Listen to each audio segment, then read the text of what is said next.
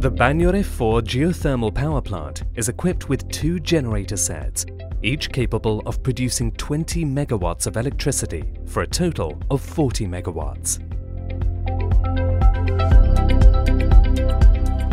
Welcome to Bagnore 4, Enel Green Power's latest geothermal power plant, commissioned in 2014.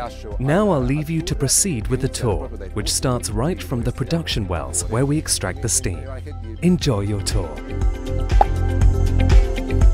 Energy is produced thanks to the geothermal fluid coming from wells located nearby. At the surface, the fluid, which is a mix of steam, water and a small percentage of non-condensable gases, is conveyed to a system of cyclone separators that separate the steam from the liquid phase.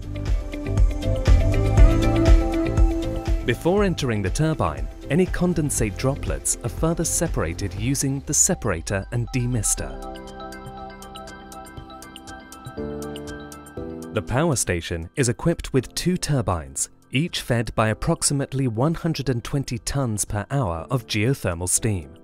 The mix of steam and gas expands in the turbine, rotating the electric generator for energy production and the compressor, dedicated to extracting non-condensable gases. Inside the condenser, the mixture is sprayed with cold water from the cooling towers. I hope you have enjoyed this virtual tour and that we will soon meet you in person. See you soon.